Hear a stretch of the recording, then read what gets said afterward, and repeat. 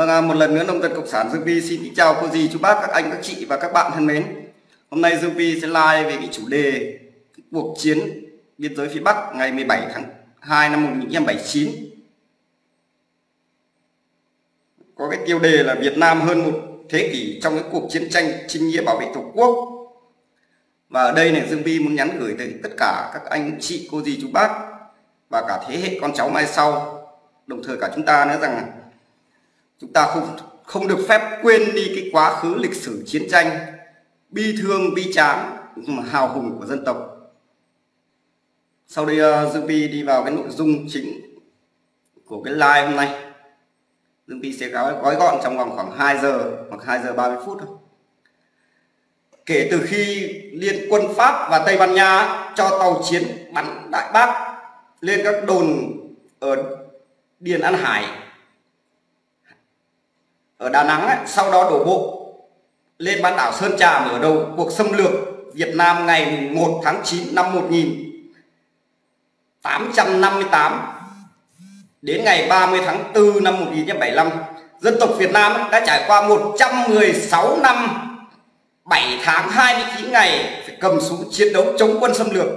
Trong đó 87 năm chống thực dân Pháp và 30 năm từ 1945 đến 1975 tiến hành cuộc chiến chống thực dân Pháp và đế quốc Mỹ. Trong hơn 116 năm ấy, hàng triệu người con dân ưu tú của dân tộc Việt Nam đã anh dũng hy sinh để giữ vùng đất, vùng biển, vùng trời của Tổ quốc do cha ông ta để lại để trường tồn mãi mãi với dân tộc Việt Nam. Sau kết thúc chiến tranh 30 tháng 4 năm 1975 có nghĩa là đến năm 1976 thì chúng ta lại bắt tay vào cuộc chống bảo chiến tranh bảo vệ biên giới Tây Nam do tập đoàn diệt chủng Pol Pot Syrianri nó tiến hành xâm phạm ở khu vực phía Nam. Đồng thời Việt Nam đã làm cái, cái, cái công tác nghĩa vụ quốc tế cao cả.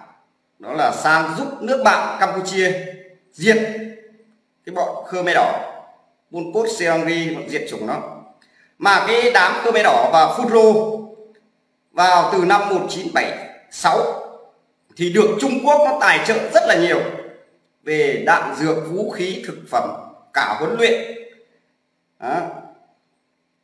sau ngày 7 tháng 1 năm 79 Việt Nam giải phóng hoàn toàn Campuchia, thì đến ngày 17 tháng 2 năm 1979 Trung Quốc đồng loạt nổ súng tấn công trên 6 tỉnh biên giới phía Bắc Đó.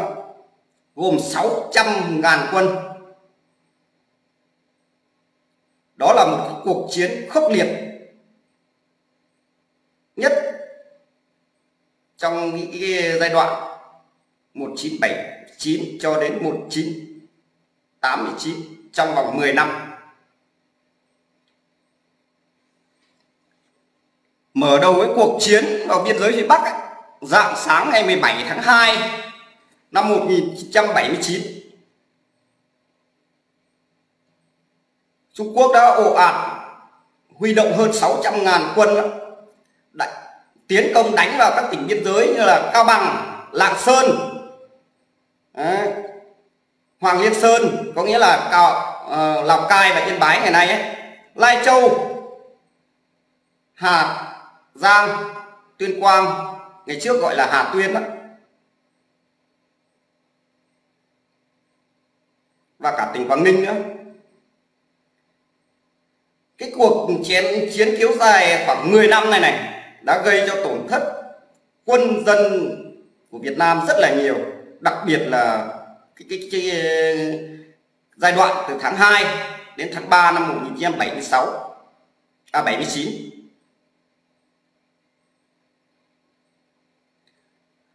nhưng với cái tinh thần yêu nước nồng nàn quân và dân ta đã anh dũng chiến đấu bảo vệ từng tấc đất thân yêu của tổ quốc đập tan cái tham vọng bành trướng của đối phương giữ gìn nền hòa bình khu vực và thế giới.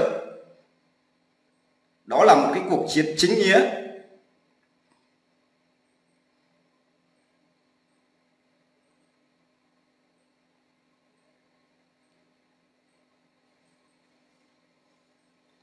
Chúng ta phải khẳng định rằng á, trong cái cuộc kháng chiến chống Pháp và chống Mỹ thì Trung Quốc nó cũng ờ, ủng hộ nhân dân Việt Nam rất là nhiều. Nhưng ngược lại sau này á do bọn chúng tài trợ cho cái đám Pol Pot Seriangri này cùng với đó cái đám Furo nhằm làm sao chia tách Việt Nam, đặc biệt là ở khu vực phía Nam và Tây Nguyên, để hòng Trung Quốc nó dễ điều khiển phía Bắc và Việt Nam lúc nào phải lệ thuộc.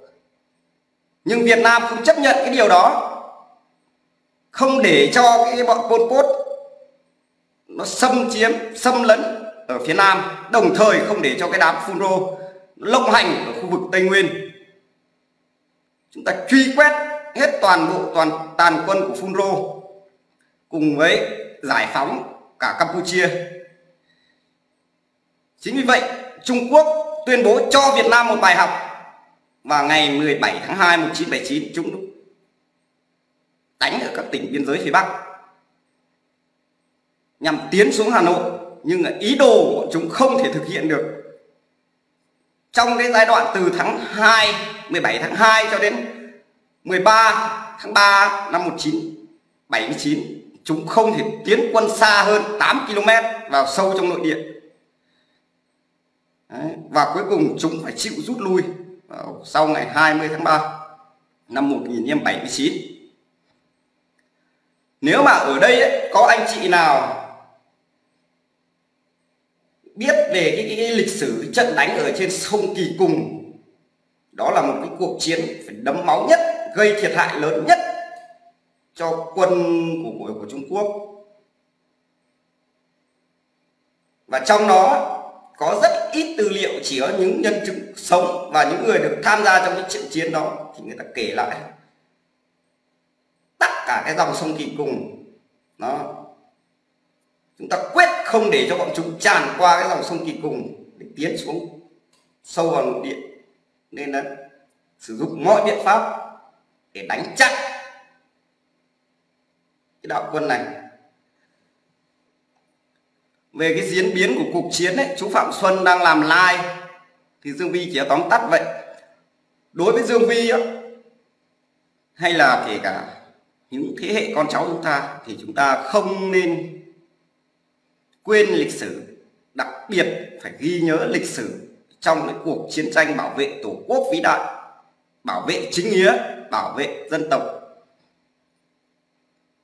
các anh, các chị, các bạn nghĩ xem, hơn 116 năm chiến tranh chống thực dân Pháp, đế quốc Mỹ Đó. tổng cộng là 116 năm 7 tháng 29 ngày người dân lúc nào phải cầm súng, lúc nào phải hy sinh. Mật mát nhưng dân tộc Việt Nam, người dân Việt Nam chấp nhận sự hy sinh mất mát đó để giành lại độc lập, giành tất cả mọi thứ, quyền tự do cho dân tộc, cho đất nước.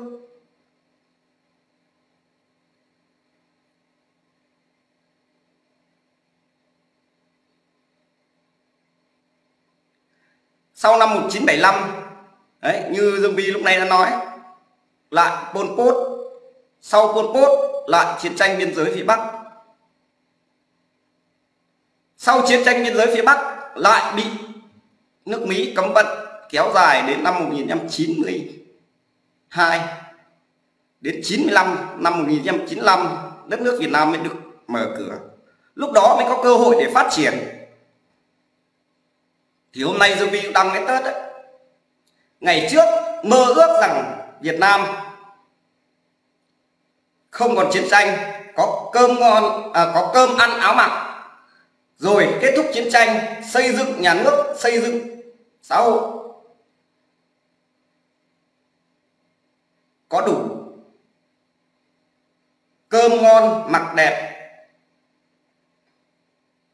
chăn ấm đệm êm nhưng bây giờ đất nước Việt Nam đang trên đà phát triển thì muốn có cái ăn ngon, ăn đẹp, mặc đẹp, mặc sang. Cái điều đó có không ạ? Có. Ăn đẹp là như thế nào? Ăn đã ngon rồi, đã đẹp rồi, đẹp. Tìm những địa điểm, nhà hàng khách sạn đẹp. Người ta ăn, thưởng thức, ngắm cảnh. Đó là ăn đẹp. Mặc đẹp, như thế nào? Rất là nhiều người mặc toàn đồ hiệu. Có thể có người khoác lên mình bộ quần áo hai, ba chục triệu. Đó. cái đồng hồ hàng nghìn đô. Xe hơi hàng triệu đô. Cái đấy có có. Đó là cái sự phát triển của đất nước. Nhưng đồng thời chúng ta không được phép quên đi quá khứ, quên đi chiến tranh đó là những cái gì mà cha ông chúng ta đã hy sinh, đã mất mát để giành độc lập cho dân tộc, để thống nhất đất nước, để chúng ta bây giờ có cơ hội phát triển, xây dựng xã hội, xây dựng đất nước, xây dựng con người ngày càng văn minh, ngày càng lịch sự. Và chúng ta đã tự hào rằng bây giờ đang tiến tới sánh vai với các cường quốc năm châu như bác hồ hằng mong muốn đúng không? Ở đây này dương vi đi nhiều cái diễn đàn đó, thì có nhiều người nói rằng thôi cái chiến tranh cái lịch sử nó đã qua lâu rồi hãy bỏ qua đi. Quá khứ rồi. Quá khứ cái khác thì dương vi có thể bỏ qua được nhưng mà quá khứ về chiến tranh cái điều đó không thể bỏ qua được các vị lợi dụng cái vấn đề hòa hợp, hòa giải dân tộc, hòa, không có hòa giải, hòa hợp dân tộc, cái nghị quyết 36 nhắc chúng tôi là đừng nhắc đến chiến tranh. Chiến tranh ở đây là gì? Chiến tranh tàn khốc là ác liệt, mà đặc biệt hơn, chiến tranh cực kỳ bẩn thỉu. Cho nên, thế hệ con cháu chúng tôi không muốn có chiến tranh.